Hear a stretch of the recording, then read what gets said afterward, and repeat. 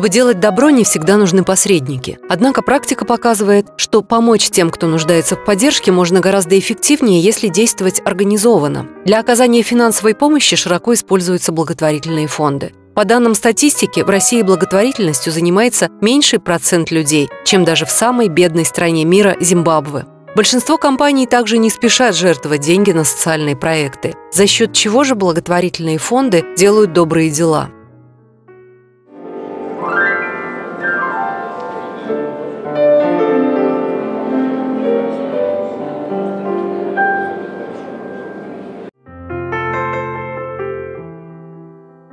Самарскому благотворительному фонду «Радость» уже более пяти лет.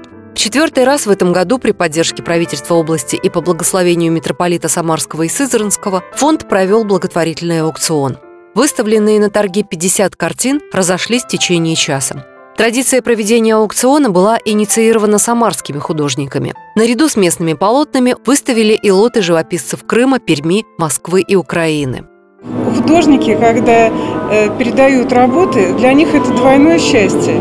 Они и свои работы передают людям, и оказывают благотворительную помощь детям. Поэтому они очень активно откликаются вот, э, на наше предложение. Когда где-то случается беда, наша первая реакция – обратиться за помощью к власти – Однако жесткая регламентация в работе государственных органов иногда мешает им оперативно решать вопросы. Есть целый ряд ситуаций, которые невозможно э, решить э, в рамках действующего законодательства. Я не говорю о том, что не призываю нарушать закон, но есть житейские ситуации, которые ну, не вписываются они в законодательство по мерам соцподдержки, не вписываются они по организации обучения, могут не вписываться они в законодательство по а, нормативы какие-то по медицинскому обеспечению. Но решить проблемы нужно, потому что это проблемы конкретных людей. Социальных проблем в стране хватает. Вспомнить только, что более 95 тысяч маленьких россиян живет в сиротских учреждениях, а ежегодно от рака в России умирает более тысячи детей. Некоммерческие организации находятся в вечном поиске источников финансирования. Благотворительный аукцион – одна из форм их получения – его участниками в этом году стали более 100 человек. В их числе лучший капитан клуба «Что, где, когда», обладатель двух хрустальных сов Алексей Блинов. В Самару его привела не только любовь к живописи. Я уверен и считаю, что мы созданы и живем для того, чтобы делать и дарить радость детям, людям. Поэтому само название уже мероприятия, оно, естественно, э, позвало меня для того, чтобы приехать в Самару и принять э, участие в нем. Основа благотворительной деятельности – не крупные суммы, внесенные состоятельными людьми и бизнес-структурами, а скромные взносы обычных неравнодушных граждан. Для фонда важно каждое пожертвование, каким бы малым оно ни было. Не стоит думать, что благотворительность – прерогатива богатых людей.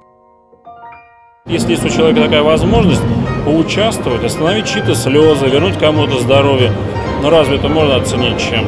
Поэтому я вот не могу сказать, чья это прерогатива богатых или бедных. Не считаю, что это возможность всем, кто желает поучаствовать, в добром деле поучаствовать. Дамы и господа, номер 50 5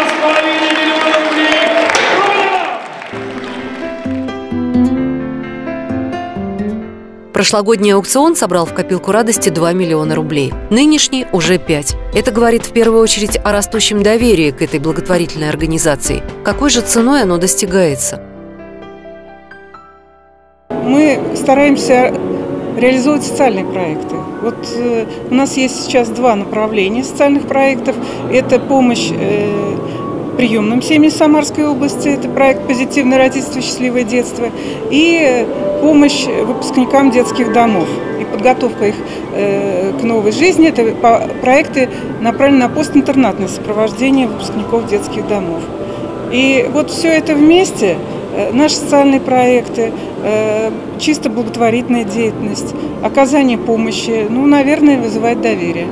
Поэтому мы получили доверие и от Э, правительству Самарской области. Очень важно для того, чтобы э, люди смело выделяли какие-то денежные средства и понимали, что они не пропадут, они будут потрачены именно на те цели, которые запланированы, есть гарантии этому.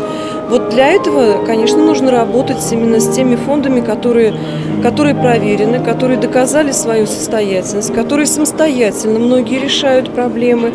И э, это надежные партнеры, э, которые, как правило, достигают поставленных задач. Говорят, мир стал жестче. Нет, не мир, а люди. Если бы каждый сделал шаг навстречу другому, получил бы два шага навстречу в ответ.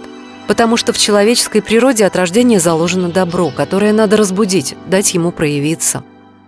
Мы немножко потеряли э, духовность внутри себя и забыли о том, как э, надо относиться к людям вокруг, в том числе к детям.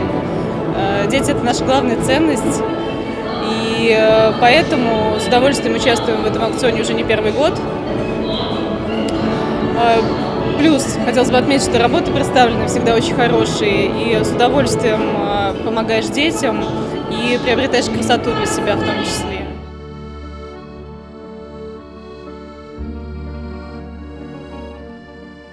Творить благо может каждый из нас. Бедный, богатый. Не скупитесь на добрые слова – на улыбку, хороший поступок. Делайте это даже тогда, когда вам кажется, что весь мир против вас. И это не так. Хотите добра? Творите его.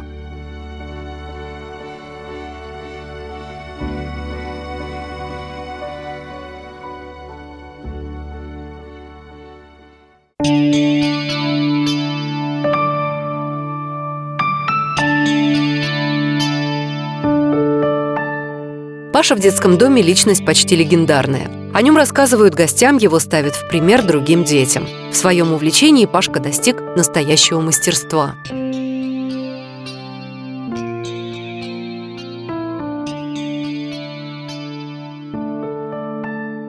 Он у нас единственный из детей, который вышивает крестиком. То есть он очень любит это дело, он очень любит вышивать. То есть если, например, у других детей иногда там терпения не хватает, то он сидит до последнего, он вышивает. А, у него очень много работ. Он у нас участвует в различных конкурсах, не только городских, но и а, областных. С конкурса Павел приехал гордый и довольный. Мало того, что получил награды, так еще и попутешествовал, посмотрел незнакомый город – ну, мы рассматривали там зоопарк, памятники. Ну, в музее были. Всеобщее внимание Пашку не избаловало. Он не зазнается, невзирая на награды и похвалы. Паша говорит друзьям, чтобы тоже как-то попробовали проявить себя и предлагает свою помощь. Природная скромность мешает мальчику раскрыться с незнакомыми людьми. На все вопросы он отвечает сдержанно и мало рассказывает о себе. Меня зовут Паша, мне 9 лет. Я учусь хорошо. Я могу рисовать, вышивать.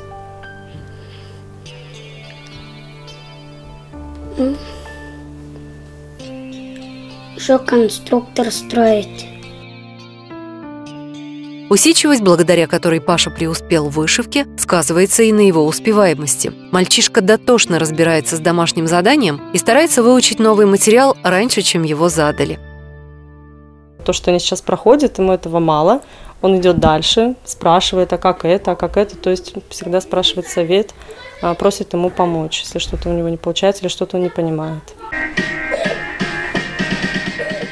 Паша всегда ведет себя дружелюбно. Ни разу не замечали, чтобы он ответил на агрессию тем же. В ответ на обиду мальчик может замкнуться и некоторое время молчать. Ребята Пашку любят, но настоящих друзей у него немного. Шумной компании парнишка предпочитает уединение.